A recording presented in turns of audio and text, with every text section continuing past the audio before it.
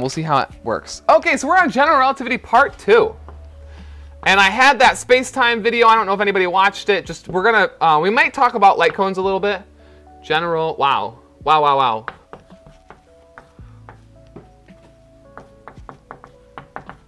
General relativity part two, part two, part two, part two, part two, part two. Lorentzian transforms today. So let's talk about last time. Last time.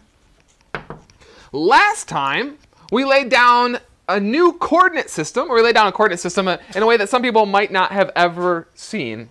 Let's talk about the coordinate system. So I introduced a new set of coordinates like this where we have mu, x to the mu, and I'm kind of writing up here because I want to stick around for a little bit. And in these we had, uh, mu is a Greek letter, and Greek letters run from 0 to 3.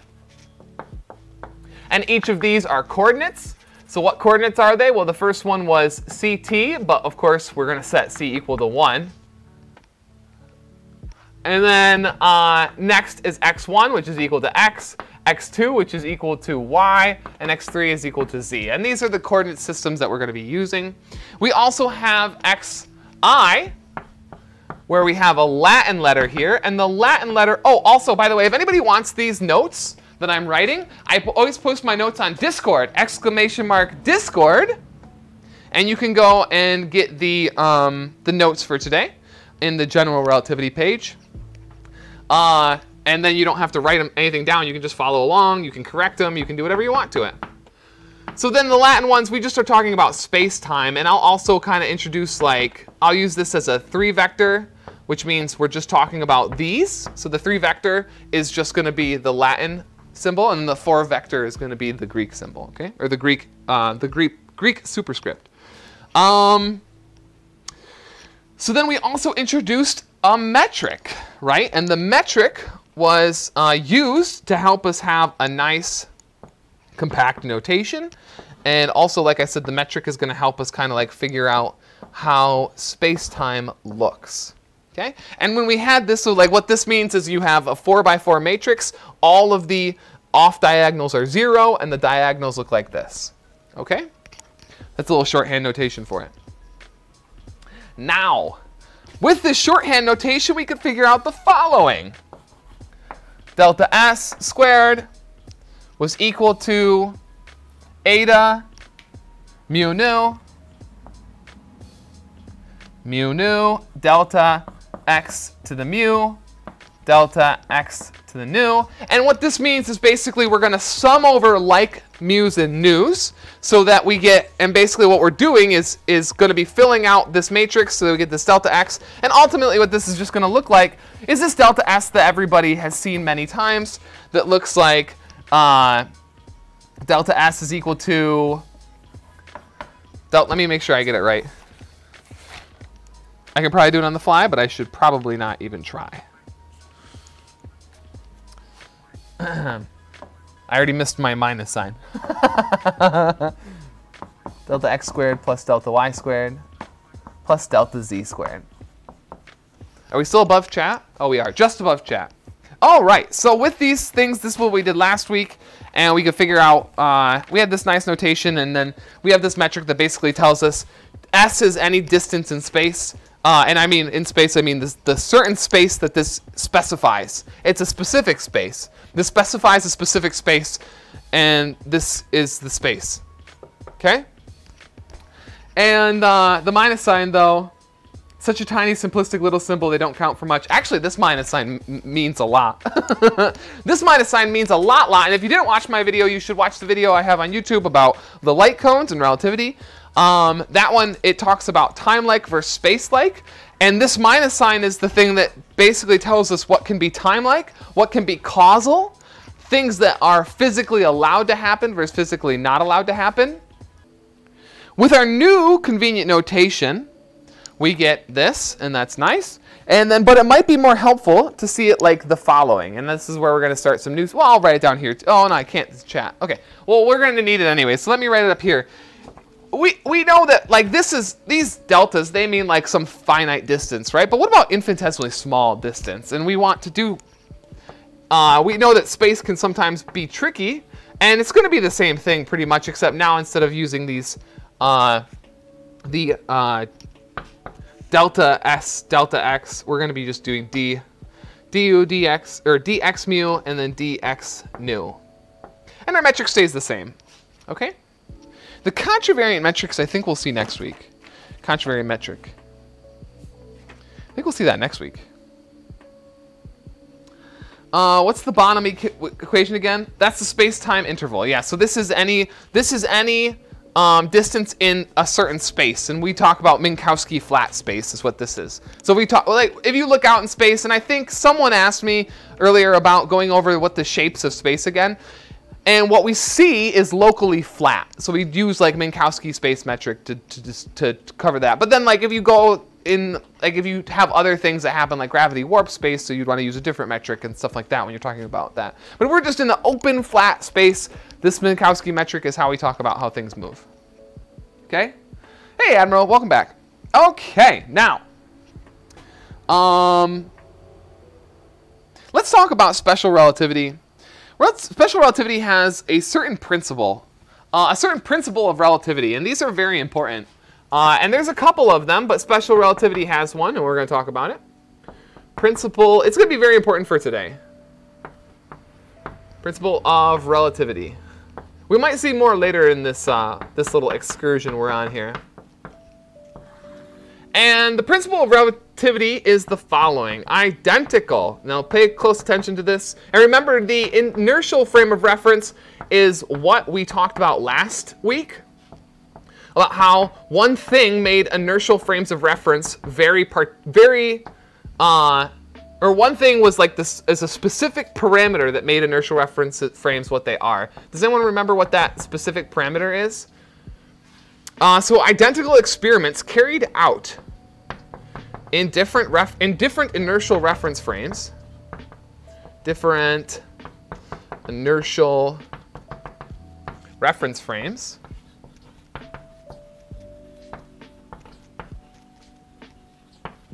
give identical results.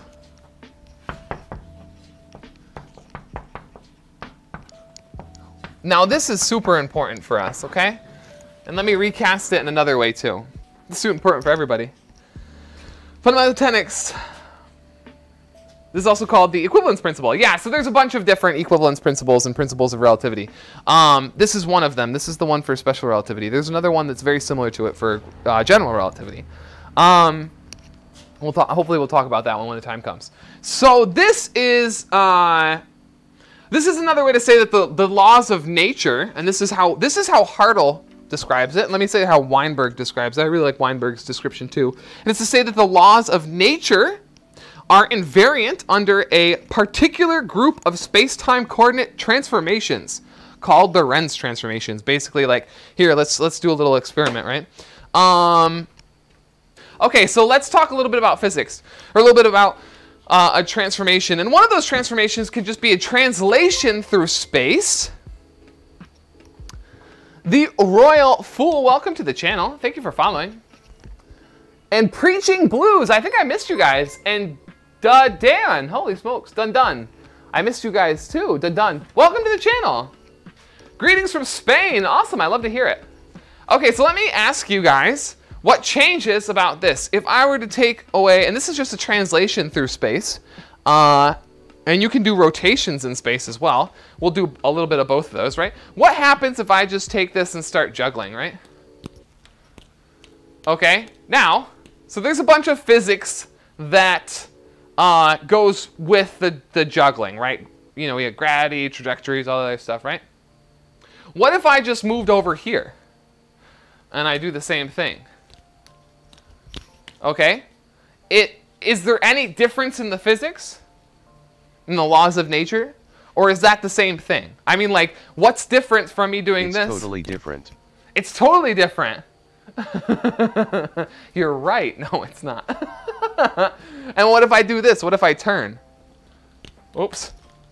Maybe it is different. Maybe that's why I couldn't handle it. So what if I do this and turn? The laws of physics are the same, right? I can turn, I can move around, I can do one of these, and it doesn't matter as long as I'm in space, nothing's going to change. Like I can translate through space, I can rotate in space in certain directions, and things won't change. Another example of juggling on a spinning chair. That is different because that's that's not an inertial frame of reference. Exactly. That's a great that's a great point. So Admiral Entropy makes a great point. A spinning chair a spinning chair will not have an inertial frame of reference, right? If I try to juggle, there's a, a centripetal force that acts on the balls, and they go flying all over the place, right? Very different. Excellent point, Admiral Entropy. Very, very good. Okay. Uh, but no, like you can do certain things in in Lorentzian. Uh, what did I say? Oh, I said Lorentzian transformations and things, and and the physics is going to remain the same. Okay. So going from a non-rotating frame to a rotating frame would not be a less would not be a Lorentz transformation, but going just rotating a frame would be. That's a big difference. Um. Welcome on in, Kevin. Good to see you. Good to see you. Okay, so let's keep going with this. Uh, and what does that look like? So we could say uh, we have one coordinate system. I think we should probably put, well, I'm going to stick with my notes on this. I have a little bit of Weinberg and a little bit of, of Sean Carroll notes, and they also, they do things a little differently sometimes. Um, but we can say there's a new coordinate system x after we do some sort of transformation. And what is that transformation? Well, it's going to take the shape of uh, this capital gamma. Lambda? Whoa. Now, wait, now I don't know. Is it a lambda or gamma? I think it's capital lambda. Plus some, some other constant that is going to be applied to whichever, whatever coordinate we want to apply to. Capital lambda. I think you're right. Yeah, capital lambda. Um, I thought so. So this is just going to be some coordinate transformation that's going to change the coordinate to something new. So we have this one's x prime with alpha, and these are all dummy er, variables, right? Or indices. So it's not going to matter. We want to sum over the same indices. So we want this b to or this beta to be the same index, and then this a can be whatever alpha is or whatnot. And it's just going to be a constant added to whatever. It doesn't, it doesn't matter. Uh, so the, the indices don't matter that much right now. They might add, matter more as we move on, but for right now, they're just dummy indices. So uh, they are going to be in this category here. We want to figure out uh, if there's 0, 1, or 2. And then maybe we could even write this out a little bit. Um, and we will even. So they're constants, and this has this particular role to play. Okay, this is uh, this has to be under a certain restraint. And the, the restraint is as follows. If we take this, uh, I want this to be a thing. So let me, well, I can leave it there, I guess. I'll rewrite it when the time comes. Alpha, gamma, and then lambda, beta, delta, multiplied by eta, alpha, beta. Notice when you're summing over the same indices, you want to make sure that you have a, a contravariant and a covariant index. And we'll, be, we'll talk a lot more about that next week. Uh, but for now, just notice that these A and B here and A and B down there. That matters a lot.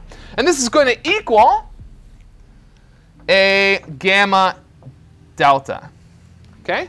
So basically, this is, we want to make sure that if we apply this transformation twice to the metric, then we're going to get another, we're going to get the metric rate back. Like that's the goal. You got to get the metric rate back.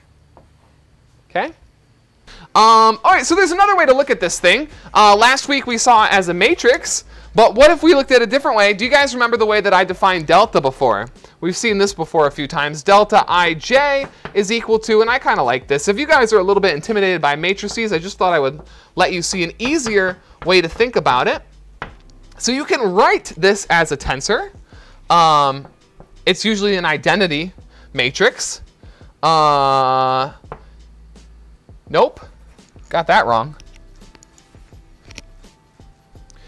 Uh, where we have i is equal to j, it's 1, but if i is not equal to j, it's 0. So for this term, this is a, called a, Dirac, or a Kronecker delta and it has a, sub, a subscript of ij, and if i and j are equal, then it's 1, and if i and j are not equal, then it's 0. And we can think of, of this eta, this metric tensor, as kind of like the same thing, right? Except now we have, oh look at that's our, our non-interference pattern. This is the same thing, except now we have plus 1 for alpha equal to beta uh, equal to 1, 2, 3. So 1, 2, 1, 2, or 3 minus 1 if alpha if alpha is equal to beta is equal to zero for the time component, or is equal to zero if alpha is not equal to beta. So it's just another way to recast this matrix, but some people might find these two things easier to think in, and uh, it might be very helpful for the point of our discussion today. And what we can really figure out is that this then, right here, um, so we can write this as a longer form, but I think I'm going to erase and rewrite it, uh, just so we have more time. Or more room, excuse me. Yes, if I erase the chalkboard, then we have more time together. And that's ultimately what this is about, right? I want to spend all of my time with you, Twitch chat. so let's get some stuff up here. Feeling pretty good about our, our uh, coordinates and everything. And now we can talk about this coordinate transformation a little bit, okay? I hope we do it now. I hope I'm not about to like ignore it and put it on the back burner again. But it's this uh, capital lambda alpha beta times x to the beta plus a to the alpha. And we're talking about Lorentz transformations. In a wolf, thank you. In a wolf. Welcome to the channel. Thank you for the follow. It's good to see you. Welcome. Okay, so now we can, so if we def we defined what this had to be. This had to be the following. I need this definition, so I need to make sure I write it down again. Oh, I see. Um, While I am gone is when you do physics. You monster. We've been doing physics for every minute of this stream, Tyrion, except for the one time that we played a game. Can I play a game with my friends? Man, this guy, you caught me in the trap. I told myself I wouldn't argue with you today. I said no. I said no, I would not argue with you. So this was the definition we had before. The um, restriction of this lambda is that if you act on the metric tensor twice, then you have to get the, the, the metric tensor back again. Okay? And uh, so when we write this out, this is what the full extended version looks like. If you guys are uncomfortable with tensors still, you can think of it the following way, right? This is going to be alpha 0 x to the 0 plus, oh, I should look at my notes and You not are the a board. master, sir. Um,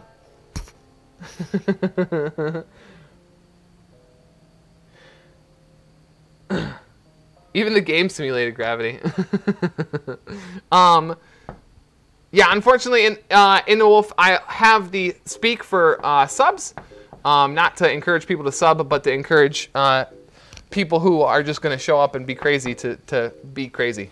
Um, so I'm sorry about that but that is just a defense mechanism against the crazy. So we can show how we're going to sum, when I say we're going to sum over like indices, that's what we're doing. See how beta and beta are the same index? So uh, all of these are making up that metric tensor that we had before, except now the metric, or now the coordinates, I shouldn't say metric tensor, now the coordinates are being acted on each individual,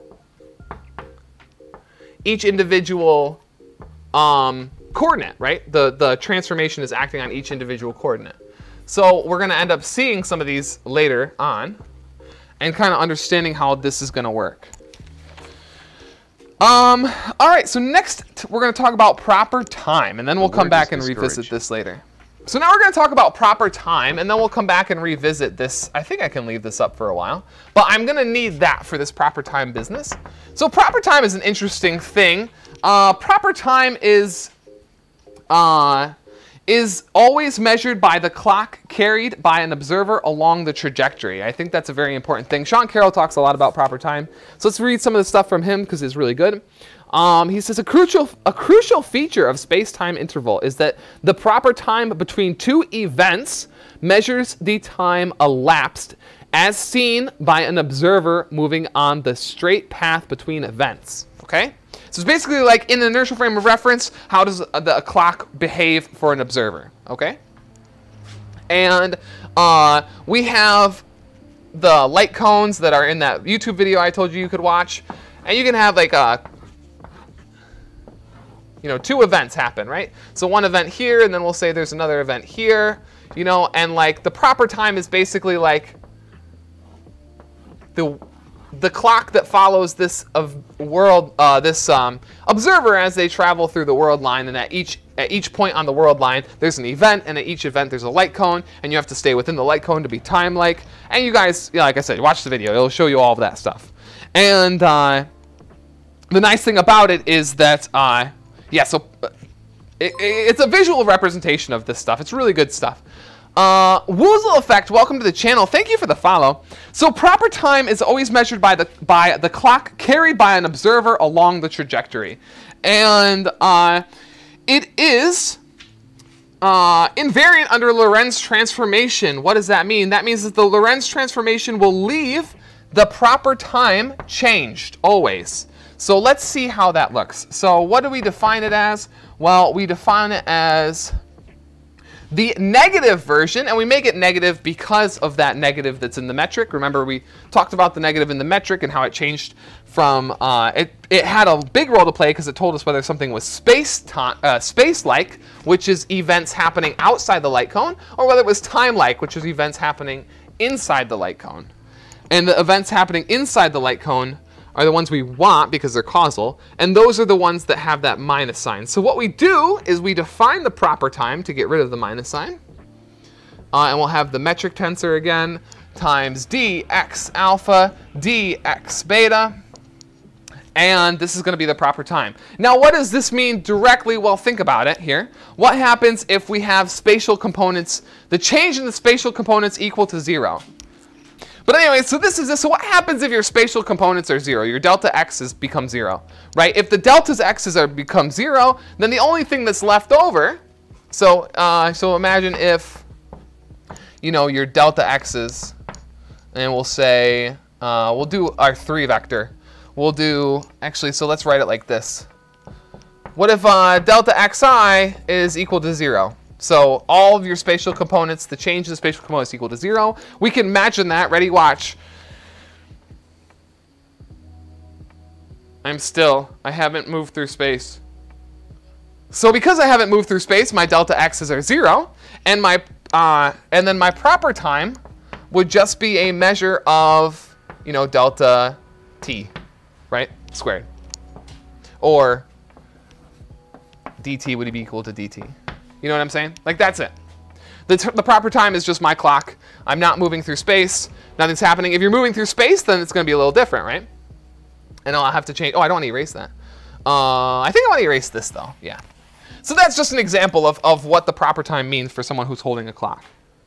Okay, so can we prove that this is invariant under a, a Lorentz transformation? Um, well, let's take a look. So let's look at our new coordinate. So we take a, a coordinate that's being...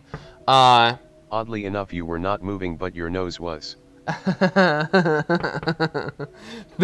the speed of light. At the speed of light, baby. Okay. Um, so this... how does this new coordinate system, because remember it's a prime, so how does this new coordinate system look after we apply a, a uh, this Lorentz transformation, this thing that we've established to an old coordinate system? I think I have glass in my hand. Um,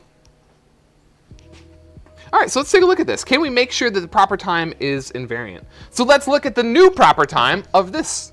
So the proper time as we defined right here, is going to be equal to minus eta, ooh, that's a rough eta, eta alpha beta, a dx prime alpha, dx prime beta. Okay, so that's good. That's what we defined our, this has to be. Uh, and this this eta's got to be the same, right? We talked about that too. And then let's now rewrite these in terms of our old un, untransformed coordinate system. So this becomes negative eta, easy out there, alpha, beta.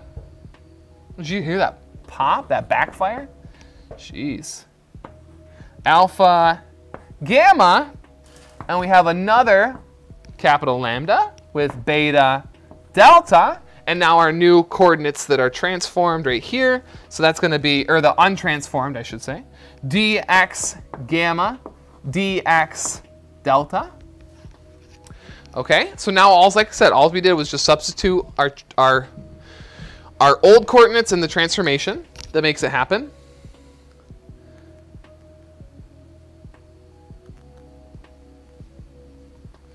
You did move through space, but we don't proceed. there you go. I see what you're saying.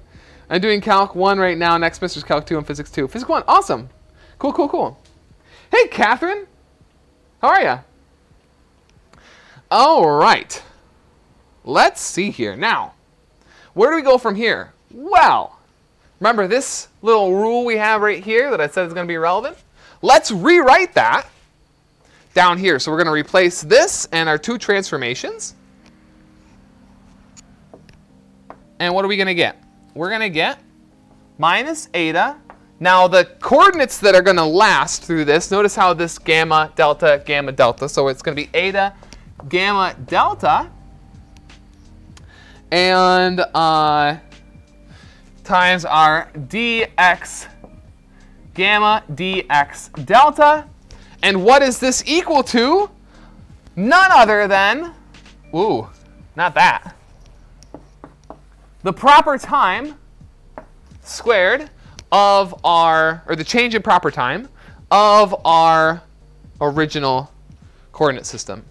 So we know that the way that we've constructed this, we've made certain um, restrictions on this capital lambda, and that has showed us that this proper time that we described as the, the time passing on the clock of the observer um, in the inertial reference frame. And uh, that has to be the same in any, in any reference frame under a Lorentz transformation. Okay? All right. So now can we talk about what this, this magical transformation is? And the answer is no, we can't. It's a joke. I hope you liked my joke. We can, of course, talk about it, and we can describe it, and we can make groups with them. They can have cliques. They can be the cool kids in school, and they can push you down and make fun of you.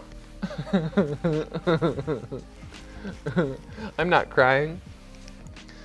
Uh, but we can uh, describe them as a group, and we'll call that group the Lorentz group.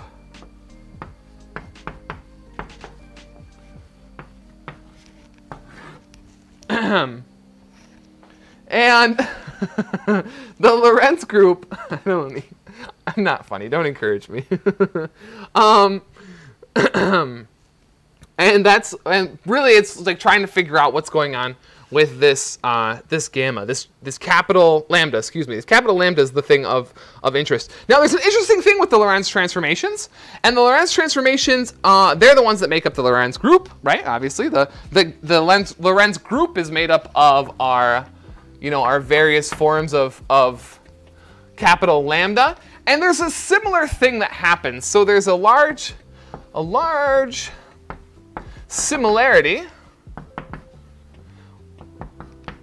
with the rotation group in three dimensions.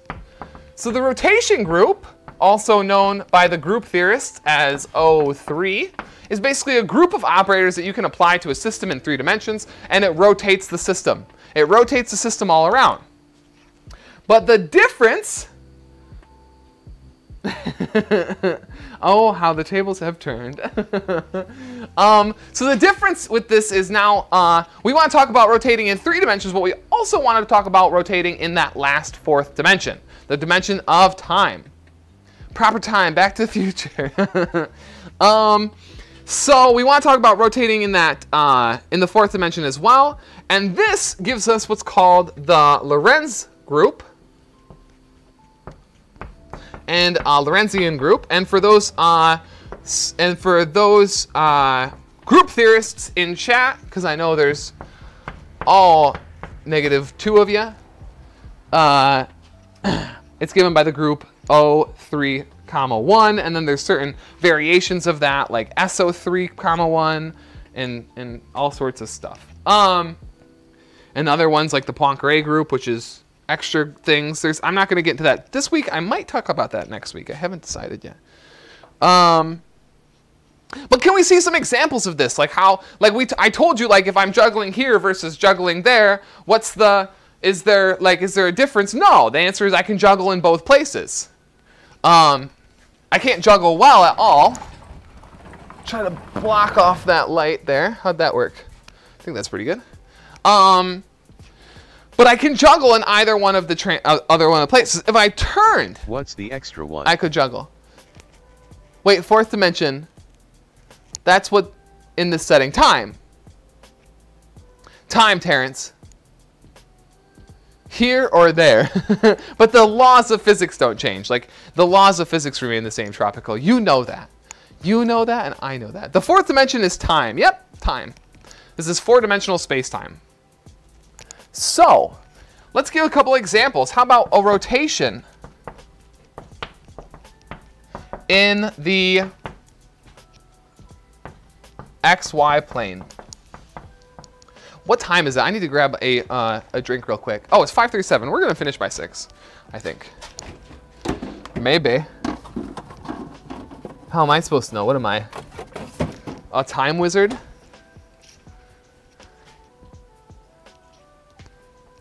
you mean you can fail miserable at both events? Yeah. It's knowing the signature of the metric you're preserving. Oh.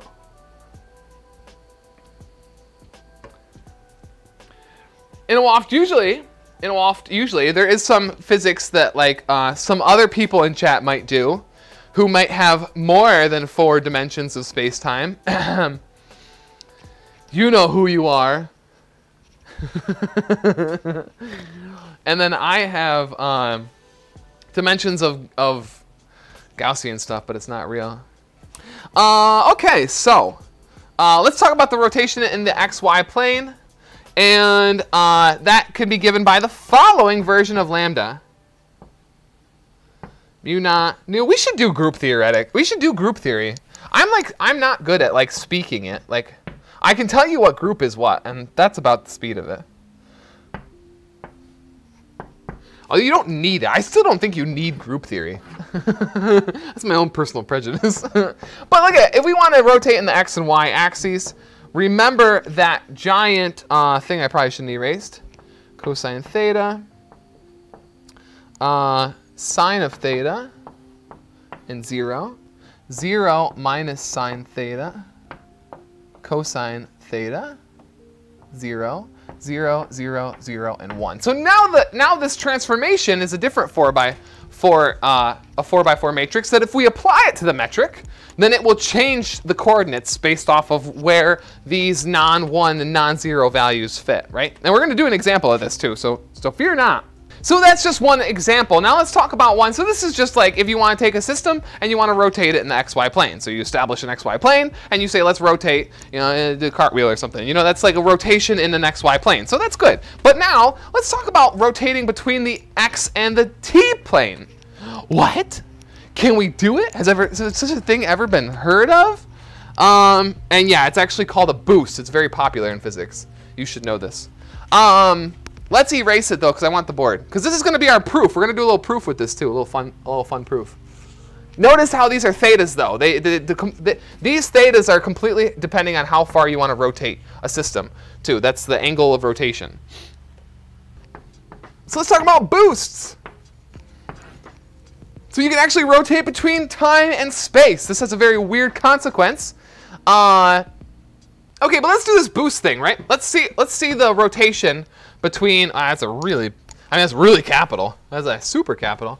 Let's see the capital lambda in action. So we have our mu uh, that's going to take it to a new coordinate system. And here's the rotation between time and space. So we're going to have a hyperbolic cosine minus a hyperbolic sine.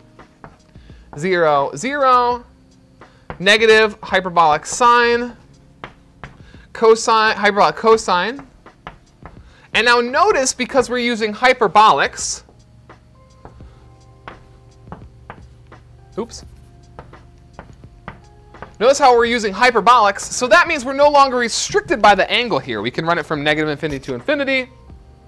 So now we can run this from negative infinity to infinity, so it's just a straight up, it's a transformation that's not bound periodically by a angle, right? So now let's see what the boost is.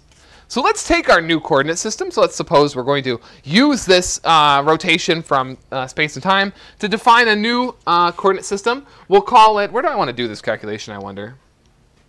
I guess we'll do it right here, and we'll see what happens. Uh, t prime is going to equal t hyperbolic cosine phi minus x times hyperbolic sine phi. Now, if you're wondering how we got here, remember that the uh, the definition for the coordinate change after a transformation is here's the new coordinates. So it's going to be alpha. So that's going to include the time coordinate. It's going to include all the coordinates. This is a Greek letter, which means it runs from 0 to 3. Gamma, beta, alpha, x to the beta, plus some other constant, which we'll probably be ignoring for the most part. Um, okay. Trying to black out the sun a little more. Um, all right, so let's have our other, oh, look it's creeping up still. Sun, stop setting for a second. Can you just not set for a little bit here? Man, you're so rude. So we got a hyperbolic sine. For the x-coordinate now, we have hyperbolic sine plus x hyperbolic cosine phi. And then the other ones, now the other ones are not going to matter too much. Uh, I'm not worried about the y and the x. They're not being, they're not being, uh, they're just going to be like, they're going to be the following. It's just going to be y prime is equal to y and z prime is equal to z.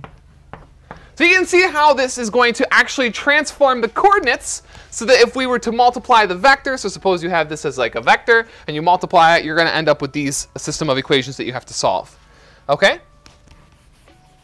Now let's suppose that this is going to be, let's take a look at what happens when we have x prime is equal to 0. Okay, so x prime is just a coordinate. We're wanting to look what the coordinate system does. So let's set x prime equal to 0. That means that we're going to get the following. We're going to happen, we're going to look at the, the, we're looking at the origin of this new coordinate system is really what we're doing. And what do we get? We're going to get t times the hyperbolic sine of phi is equal to x times the hyperbolic cosine of phi. Why do I always do that?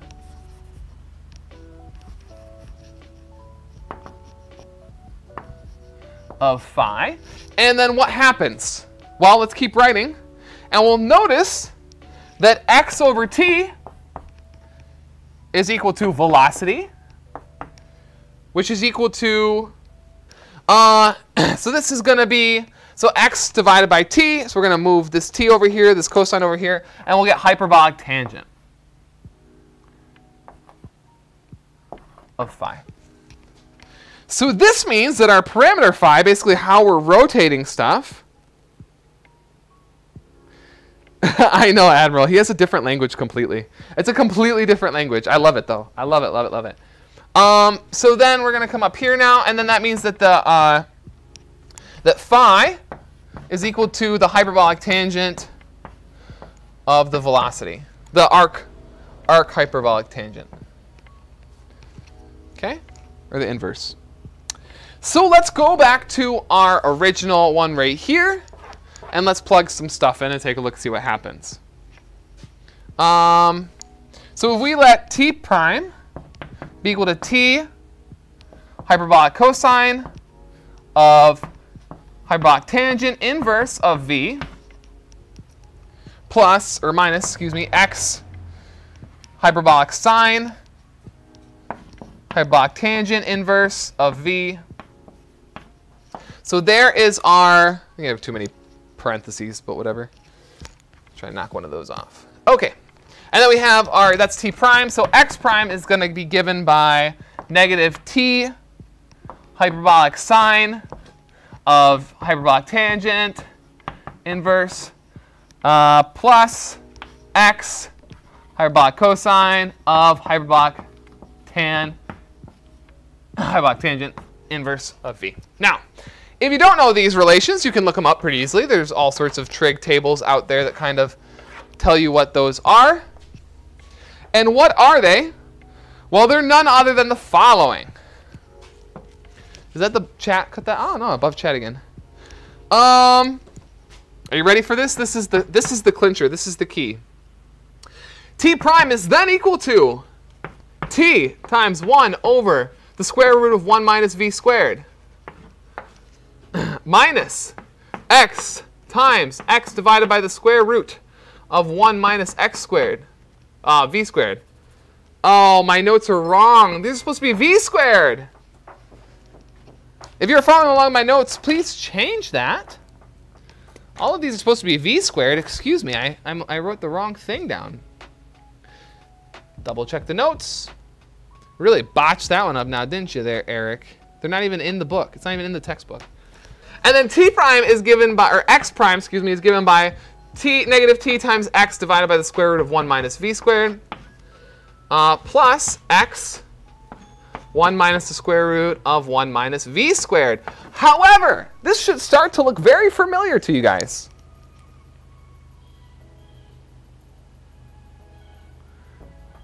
Uh, it was not a V, it was a Dio. it was IDEO. Huh. Um, so the... Okay, so these V, so th this should start to look familiar. Ready? Here comes the magic. Let this arbitrary value of gamma equal 1 over the square root of 1 minus v squared. Ah, does anyone see it now? Does anyone see it yet? That means our coordinate transformations look the following. t prime is equal to gamma times t minus vx. x prime is equal to gamma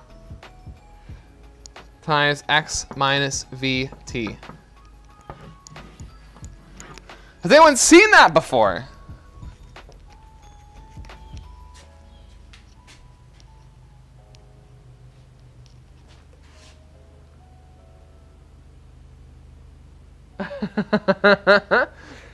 Did the mods delete messages? I didn't even see that. Usually they tell me. So has anyone seen this before? This is the Lorentz transformation coordinates. Giorno household. I mean, what are you guys talking about? Pizza? I don't even know what you're talking about. what is this? Listen, the Lorentz transformation. Huh? Nobody's seen this before? This is awesome. This is like a complete, I've never seen this transformation but using hyperbolic cosines and tangents and actually rotating through time and space. If we rotate through time and space at this coordinate, we get a velocity. Okay? We realize that now this coordinate system, this x prime and t prime, is in motion relative to the original coordinate system. Justin, I know, Justin, right? oh, jeez. Well, thanks, Justin. I appreciate it. Things the Transformers do. Yeah, but what does it look like in real life? In real life, it just looks like two. It's like uh, you're going through space. In real life, it looks like this. You're going through space. Okay. And uh, you're going through space, and you don't know you're going through space because you're, you're, you're in your own inertial reference frame. So things don't look like they're moving, right? Everything looks stationary. Well, then you see another spaceship start coming at you. And as, as you're traveling by, you're like, duh, duh, duh, the other spaceship starts coming by you, and you don't know you're moving because you're in your own inertial reference frame. You have no reason to think that you're moving. The other spaceship comes flying by you. All right? It looks like they're moving. What does this tell us about their motion? it tells us that not only are their times going to look different, and we're going to talk about that in a second, that's called time dilation, but their distance in x is going to look different too. The, the, the direction that they're traveling is going to have a different look as well. Remember, the speed of light is 1, or else it would show up here, I think.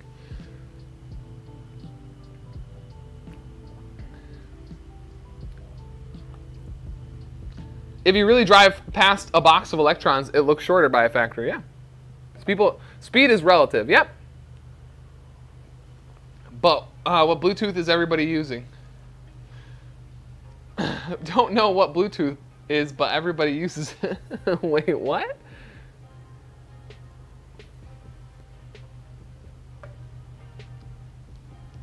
because it's moving the same speed as me, my stuff around me, I mean. Yeah, so this is really close to, like, the, the, the factor doesn't start showing up until you get close to the speed of light. So, like, the speed of light is set to 1, so these are in units of speed of light. So you have to be really close to the speed of light um, in order before this stuff starts getting used to it. Uh, you see to see it. If you drive really fast past a box of electrons, its energy density goes up by 2 of that same factor. Are you? That's pretty interesting. Well, that's just, I mean, that we have relativistic effects for that too, right? Uh, does he talk about that in the in the beginning of Weinberg or Carroll? Because I know they talk about the Maxwell equations. I wonder if they talk about that actually. Okay, we got one more thing to do, which is time dilation. So we're actually going to talk about how this is supposed to look, right? And then we'll be done for the day.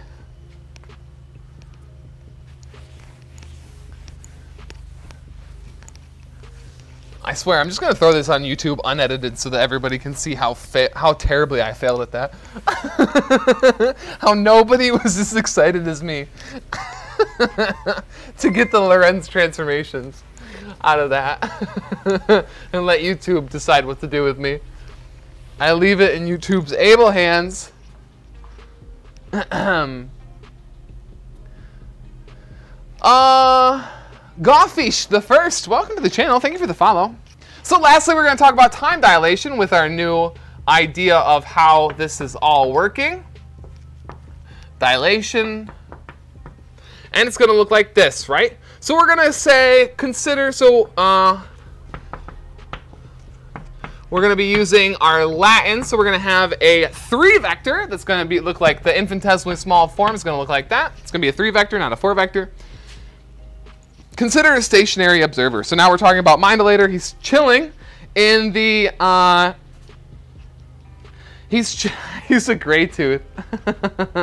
he's, uh, so we're talking about Mindolator. He's chilling in his spaceship. Oh, hi, welcome, welcome. Uh, and his, in his spaceship, he, uh, is, is not moving. It is stationary in his, in himself. He's, you know, it's his own inertial frame. So we're just going to saw in his frame of reference, he's not moving. Okay?